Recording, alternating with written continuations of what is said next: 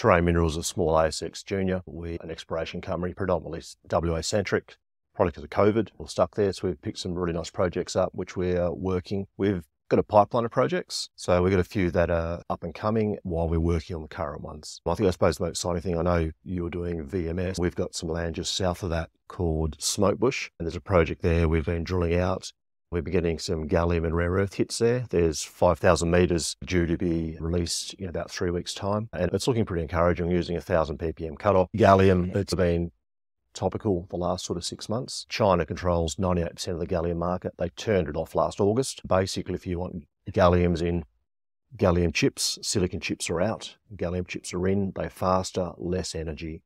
Basically, missiles, bombs, radars, AI, quantum computing. There's none of that without gallium. So it's interesting. And also photovoltaics. There was a patent expired a couple of years ago and silicon chips in Falter solar cells had metal in them that corrodes. The German companies patent they had gallium. Now over half the cells coming out of China now use gallium because they last twice as long and they also produce more power. So there's a big dynamic change in the gallium market and with China controlling most of it and it's probably being industrial, in the military side of things, there's a security issue.